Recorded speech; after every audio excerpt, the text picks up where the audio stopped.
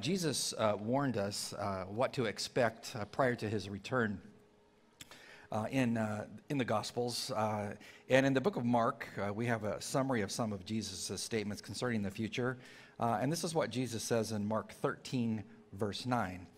he says, As you approach the end of time before he brings the kingdom and brings the tribulation, he tells you, anticipate this. He says, But watch out for yourselves, for they will deliver you up to councils uh, which is like uh, they'll bring you to court. Uh, and you will be beaten in the synagogues. You will be brought before rulers and kings for my sake, for a testimony to them. And the gospel must first be preached to all the nations. But when they arrest you and deliver you up, do not worry beforehand or premeditate on what you will speak. But whatever is given you in that hour, speak that, for it is not you who speak, but the Holy Spirit. Now, brother will betray brother to death, and a father his child, and ch- children will rise up against parents and cause them to be put to death. And you will be hated, uh, not because of who you are, but because of Christ, your name related to Christ. Uh, we live in the times uh, that Jesus has talked about uh, as uh, people are pitted against one another. In fact, we can see in the political environment in which we live uh, deep divisions between families over politics, right? Uh, you just let it be brought up who you're voting for, and that can create a, a hostile family environment, as many of you have told me, and I've experienced myself. We live in those, those times when um, there's a division between peoples uh, uh, over uh, ideologies, over worldviews, over the way that you should live according to them. Um, and so I want I, I'm not even going to go through all the, the persecution things that go on in our country from a football coach who, whose players want him uh, to pray for them uh, and he does before and after the game, and then he gets in trouble with the ACLU for actually praying for his young man. I, I would put to you, we need more coaches who pray for their young man. But that's the world in which we live. Uh, it's a world uh, full of uh, reversals, as we've been talking about in Psalm 37.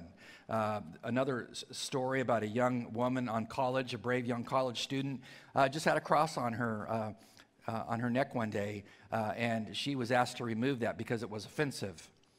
Uh, but then at the same school, you could uh, have a Muslim prayer room. That was okay. But a Christian couldn't wear a cross on a campus.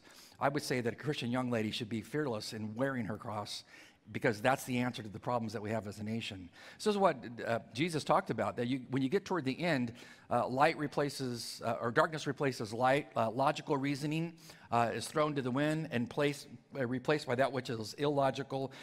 error replaces truth.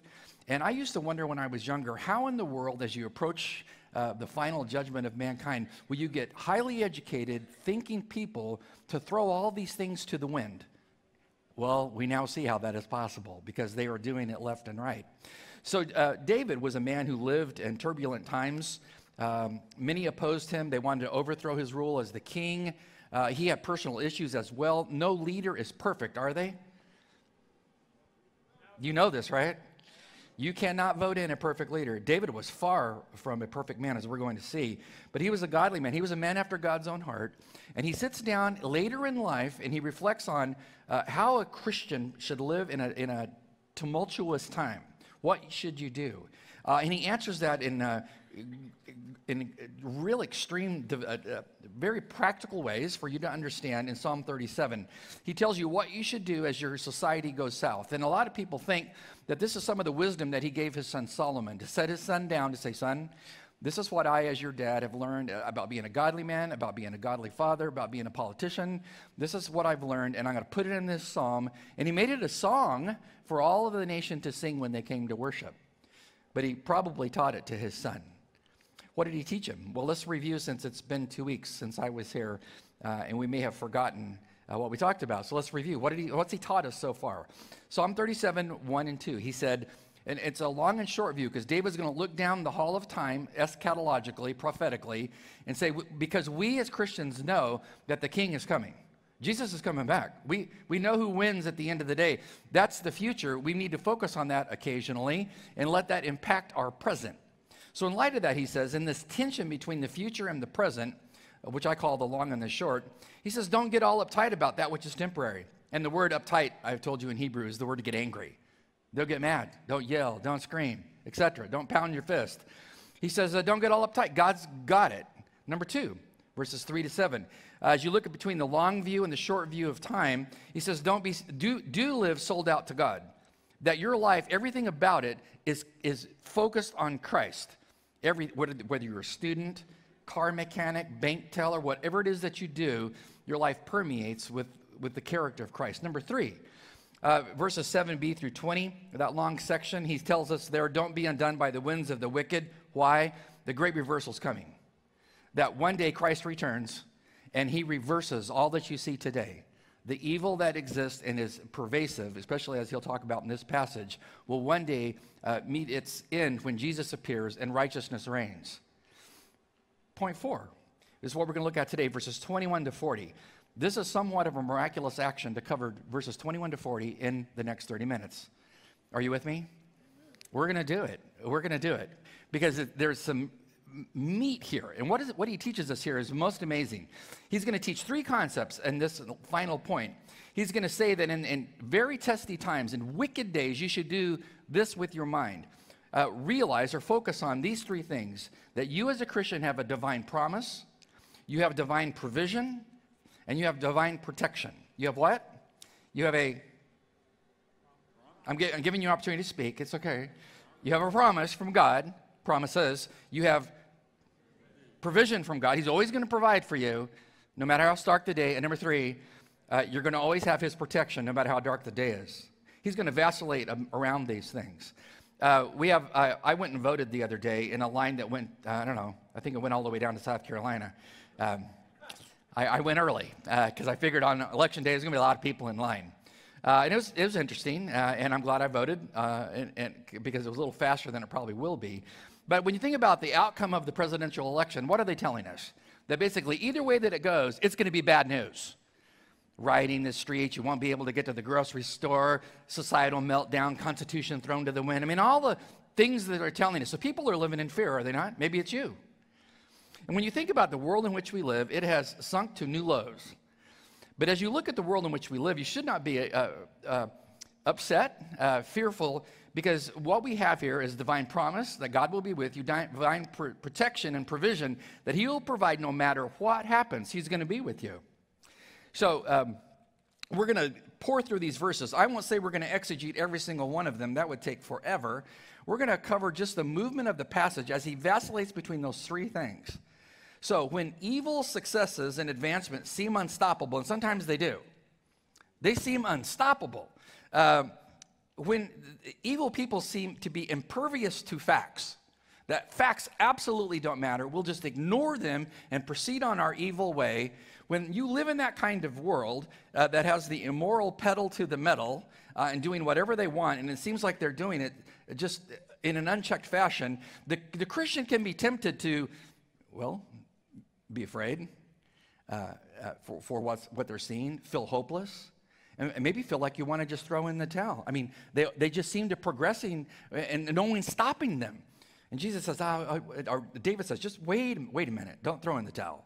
Focus on those three things. So, what do you have? We'll review. You have what? Three things promise, provision, and protection at all times from God Almighty. So, uh, David, before he looks at the prophetic future, he's going to stop in verse 21 uh, and he's going to look at um, the present. What is, what is God focusing on? God focuses on the character of a man, He focuses on your character, on who you are.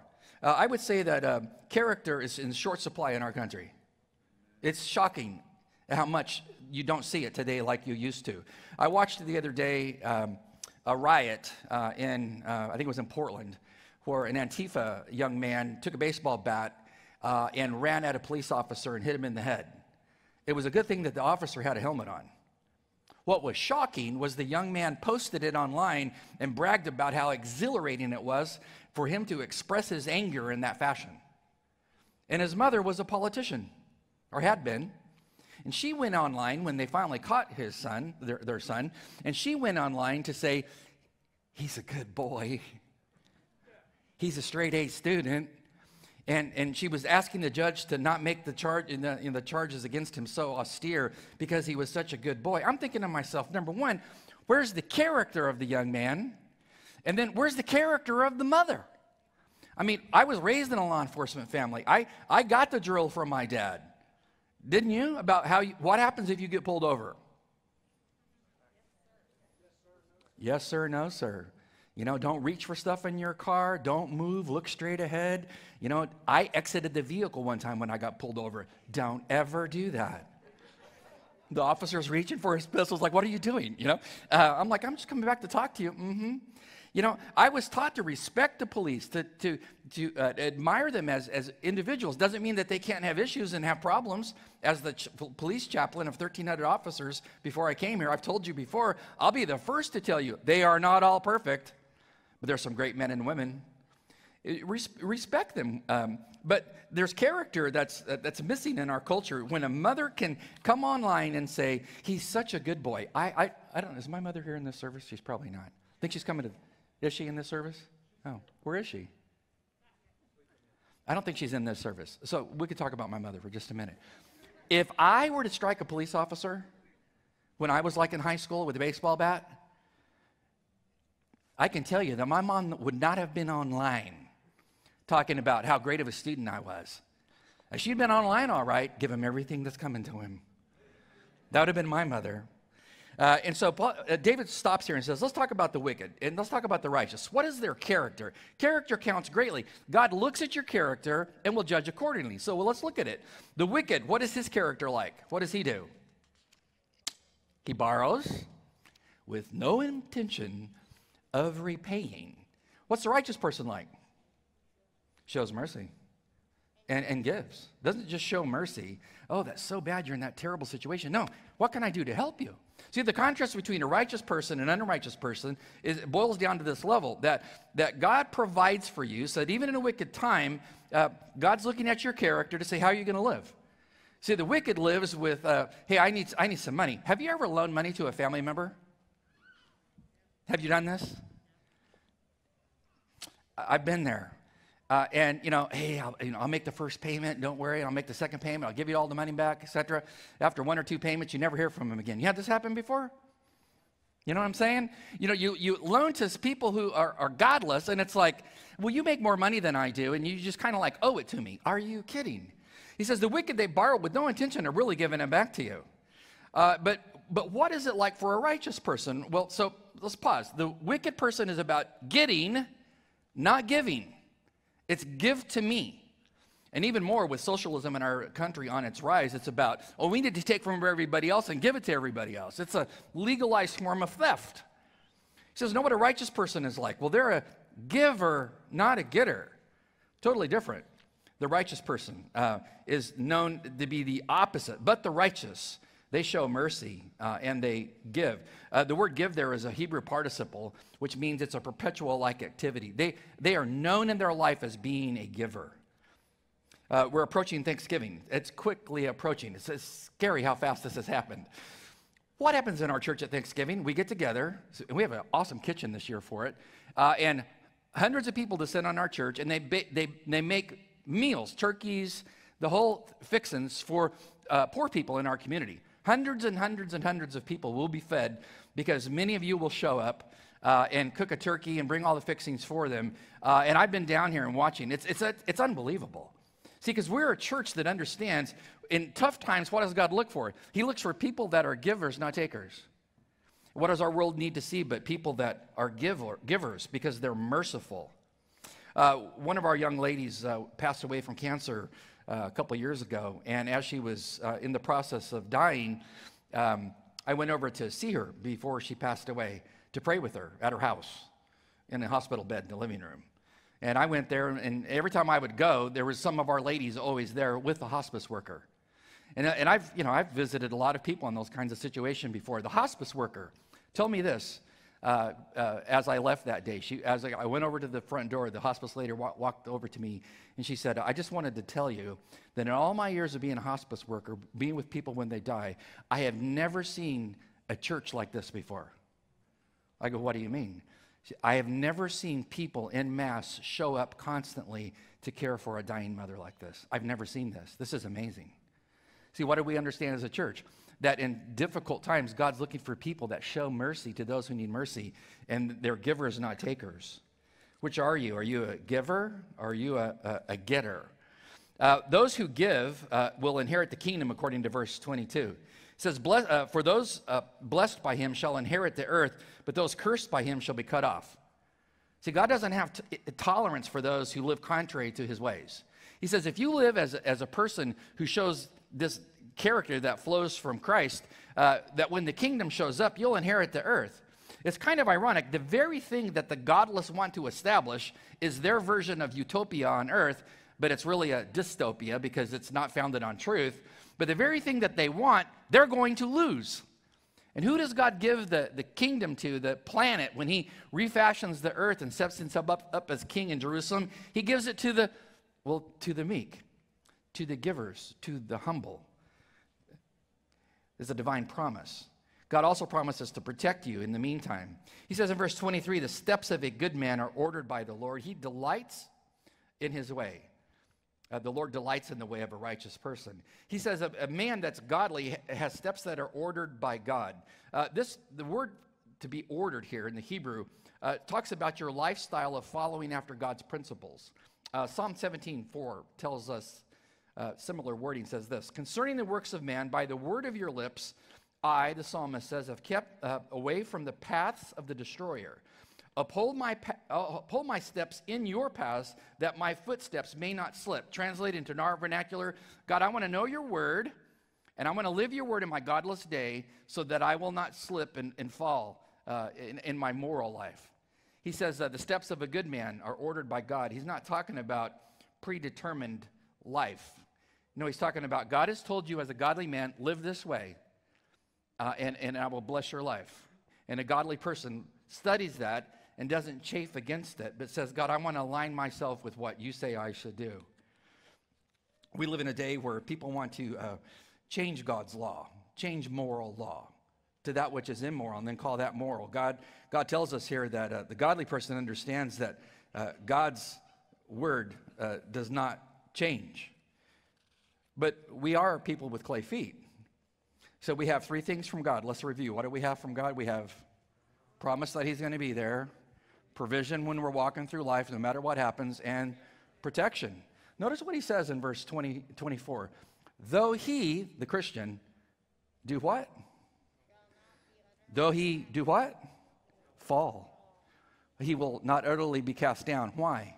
Well, for the Lord upholds them with his hand. It's a beautiful imagery though he fall, which God's a pragmatist. He knows that we're made of, uh, of clay, that we have uh, feet made of clay, that we have chinks in our armor, that we are going to have opportunities where we give into a temptation and we, and we sin and we fall. Is it over for you then? No.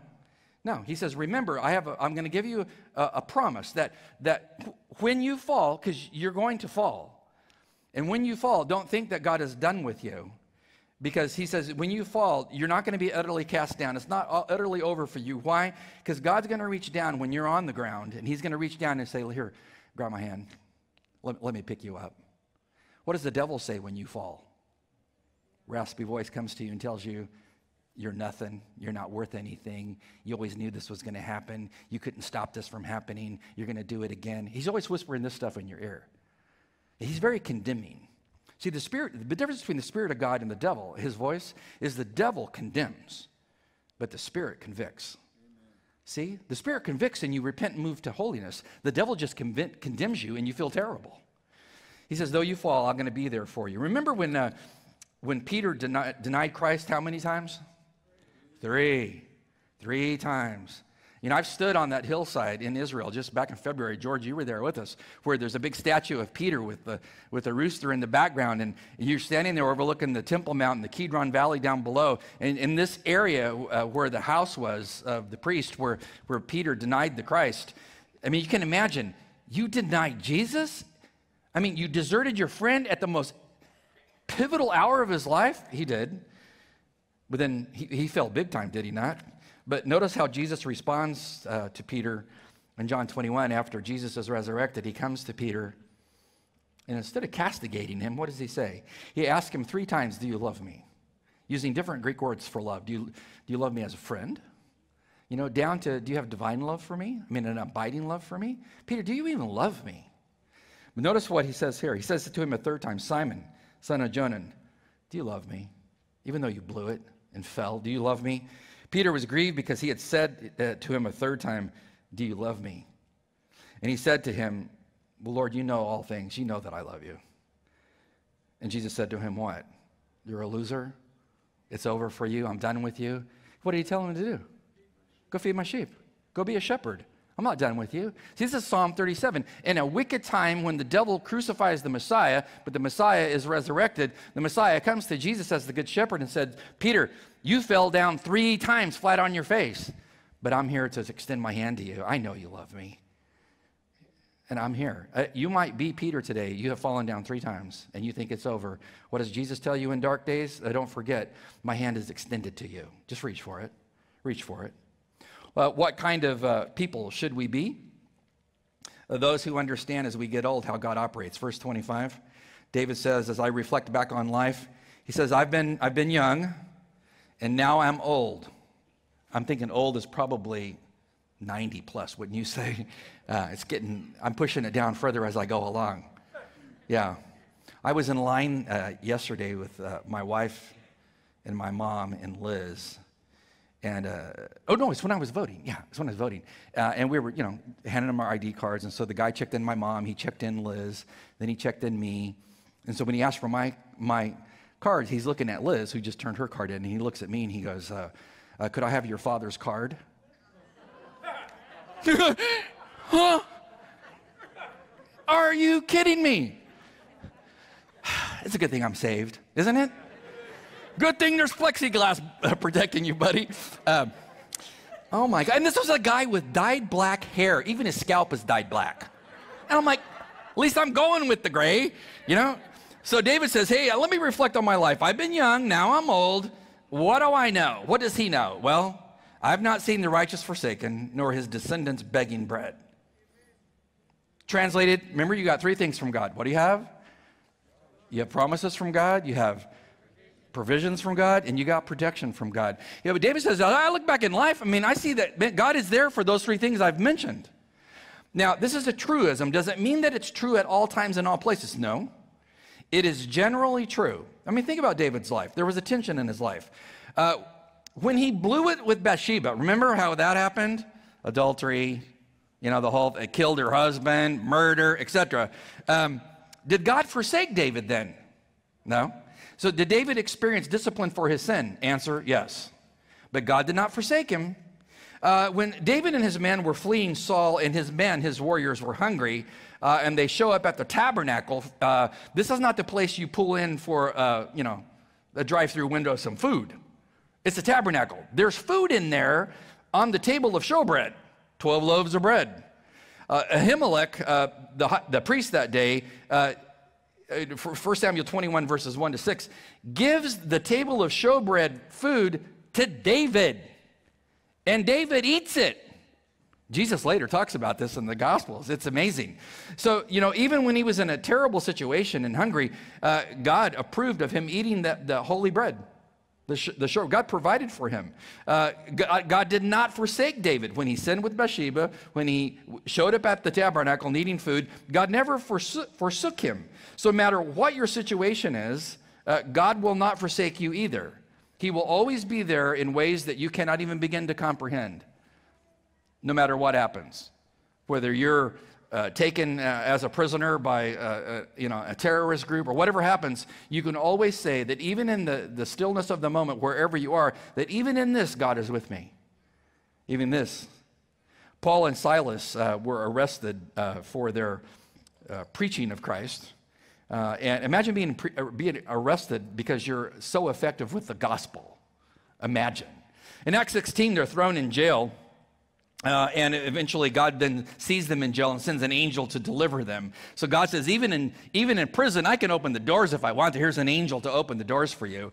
But when when Paul looks back at his life and reflects on his life, notice what he says in 2 Corinthians 11. He says, "Are, are they ministers of Christ?" I, I speak as a fool. He says, I am more.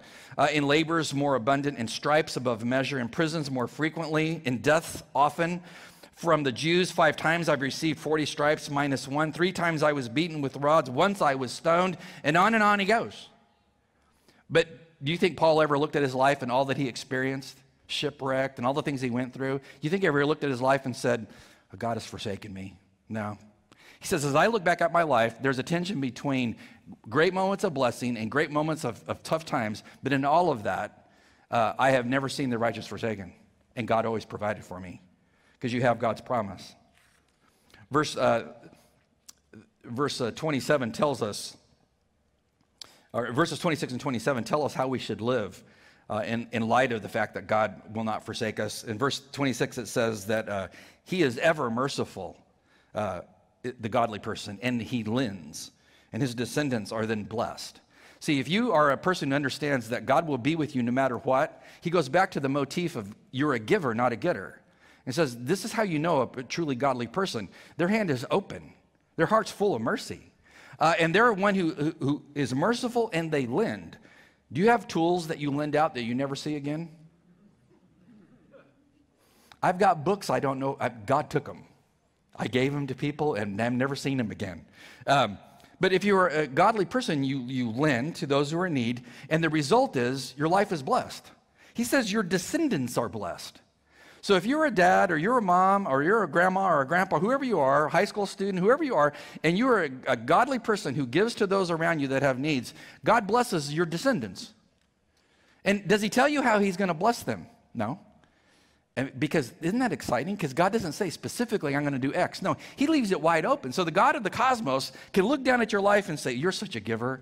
I'm going to make sure that I, I bless your life in profound ways. You know, my mom and my dad were both givers, and my mom still is, and now that my dad's gone, givers. And my life has been a result of their openness toward others. You know, I no sooner went to college than, than there were young guys living in our house. When I came home to San Diego from LA, I'm like, who are these people? Well, I met him at Denny's, and he's led a rough life, and he needed a break, and met this person here, and he needed a break. And all, these young guys living in my parents' house uh, being uh, giving toward them. And I get blessed from that because it teaches me about the provision of God and how I should live. How else should I live? As, in addition to being a giver, verse 27 says, I should constantly be thinking about doing what? Departing from evil. See, when our world runs to evil, and embraces it and calls it good, uh, David says, if you're godly in godless times, you should depart from evil and do good. Don't just talk about good, do it and dwell forevermore. For the Lord loves justice, and he does not forsake his saints. They are preserved forever, but the descendants of the wicked shall be cut off. The righteous shall inherit the land and dwell forever. All throughout this passage, he says, the godly people are going to inherit the kingdom when it comes. So live like a godly person in a godless day. How do you do that? If there's evil in my life and I know what it is, I, I drop it, I walk away from it. And if you don't know what your evil is, just ask God today, because you can't work in the yard today, correct? You got to spend some time, go down to the basement, find a nice quiet place, sit down in a chair, and just say, Dear Lord, show me what my evil is, that I might confess it and depart from that. And He's going to show you in short order. See, this is what our world needs is, is people that have a great character that's godly. You know, it's hard to argue with the godly character. It's the ultimate apologetic that a life, a changed life, Amy Barrett being considered for what? Supreme Court. Doesn't she have a stellar godly character? Indeed, she does. It's hard to argue with her life, is it not? I mean, what has she done? She's adopted children from, is it Haiti? Two children when she already had children. Uh, the one young blind lady that spoke about how great she was as a professor, because this is the young, the young professor that came alongside a blind girl to help her become a great student. I mean, when we listened to that young blind lady talk the other day, Liz said, I cannot believe how articulate that young lady is. Why? Because a godly person poured their life into her. See, this is what you see when you think about uh, how we reach our culture. We reach our culture by living for Christ and, and having a character that exudes Christ. You know, God has given us three things He's given us promises, provisions, and protection. He says in verse 30, the mouth of the righteous speaks wisdom, his tongue talks of justice, the law of God is in his heart, none of his steps shall slide. Translated, if you're a godly person, you'll know the word of God and you'll live it, and you'll walk through life and not trip up in major ways because you know God's word. Is that you? Verse 32 says, expect as you watch your life closely and live for God. Expect for the wicked not to be happy. Verse 32. God says, uh, The wicked, they do what? They watch you. They watch the righteous. Why? Well, they seek to slay you, either physically take you out, verbally take you out, some way to silence you. Why? Well, because your lifestyle bothers them. Your words bother them because your words are truth. Um, I worked on a longshoreman dock when I was in college, loading railroad cars, icing them down. Uh, it was a cantaloupe, cantaloupe plant. Uh, I chose those kinds of jobs because I could be around really godless people. Um, and trust me, they once they found out I was a Christian and going to school to get a degree in theology, they uh, they constantly badgered me to do what they did constantly, all day long, and at night when we worked. They watched my life and were constantly offering me stuff that they were smoking, drinking, dropping, whatever, so that I could become one of them. And it just, it just drove them crazy. Uh, and the guy that I worked with, his name was Larry, before we would come to work, he would drop acid. And we worked around moving railroad cars. You know, those kinds of guys. And God says the, the wicked will watch you and figure out a way to silence you. I've experienced that my whole life but it should not make you throw in the towel. He says, They will study you, they will, they will seek to silence you, but, but you stand your ground. Why? Look at verse 33. The Lord will not leave him in his hand, nor condemn him when he's judged. What's that mean? God's not going to leave you in the hand of the wicked where they consume you. No, he's going to be with you. So even if they drug you into court on trumped up charges, God in his courtroom will say to all the angels and all the saints of heaven, they might have him in an earthly court, but he's guiltless. Because one day when the Lord returns and judges all, he can look at that saint and say, No, you, you were never guilty in my eyes. See, I, I don't know about you. I would rather be the person who stands in God's sight as guiltless than to worry about what man might, man might levy against me. Jesus uh, tells us in Matthew chapter 12, verse 36 he says, But I say to you that for every idle word man may speak, they will give account on this in the day of judgment. For, your, for by your words you will be justified, and by your words you will be condemned. See, when you're brought into God's courtroom, he has all the facts. And if you want to sit and argue with him, as he says they will in Matthew 7, he'll just roll the tape. He's got the video. I mean, he, has got the audio. He's got everything. He brings you into judgment, and he says, uh, "Okay, let's uh, see if you're uh, see if you're right or wrong." Before I judge you. The saint will stand there and say, hey, My life's covered by the blood of Christ. I'm, I'm, I'm guiltless. I'm guiltless. David reminds us of how to live and says, Be mindful that even though drug into a court of law before God, your motives were clear. You were living for me. I know the facts. I don't, I don't say that you're guilty.